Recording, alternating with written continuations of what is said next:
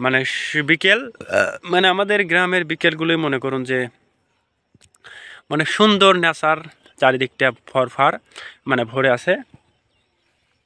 সকালের চোখে পড়ছে আপনাদের এবং আমাদের আশেপাশের যে দৃশ্যগুলো আছে সেগুলো কেমন লাগে?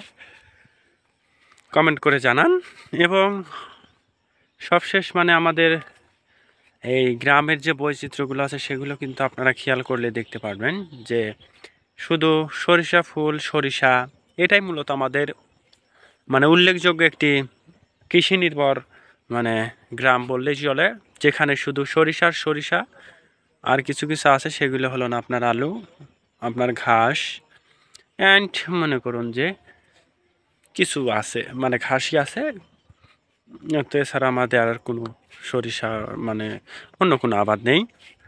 তো এইগুলোর পরে আপনার মনে করুন মাল সরিষা তুলে আপনি মনে করুন যে ধানের আবাদ করা হবে।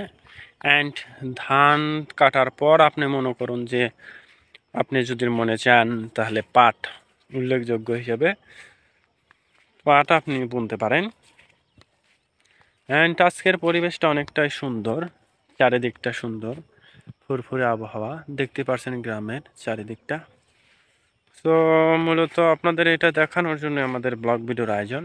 যারা চ্যানেলে নতুন দর্শক আছেন, অবশ্যই ভিডিওগুলো, ভিডিওগুলোতে লাইক দিয়ে চ্যানেলটি সাবস্ক্রাইব করে কন্টিনিউ করতে থাকুন আমার ভিডিওটি। আশেপাশেরটা দেখতে পারছেন, পরিবেশটা। সূর্যটা যদি লক্ষ্য করেন, তাহলে দেখতে পারবেন সূর্যটা কিন্তু সূর্যটা কিন্তু আপনাদের চোখে পড়বে, সূর্যটা এখন অস্ত্র যাবে। তার আধা ঘণ্টা আগে আমরা আসছি।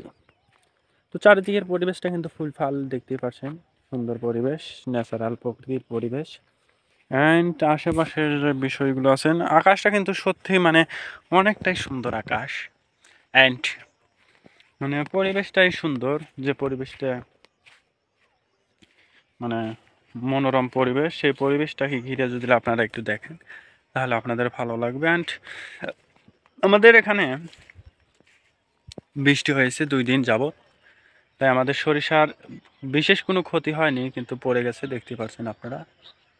সরিষা পড়ে ঢালান দিয়ে গেছে। এগুলো আর কি হবে জানি না। তবে বিশেষভাবে যদি আপনারা লক্ষ্য করেন, তাহলে কিন্তু দেখতে পাচ্ছেন মানে বেশিরভাগ সরিষাগুলোই দাঁড়িয়ে আছে, অল্প সংখ্যক। পড়ে গেছে মাটিতে, সেটা কোনো প্রবলেম নেই। আর সামনের দিকে এগিয়ে যাচ্ছি আপনাদের ভিডিওগুলো দেখানোর জন্য।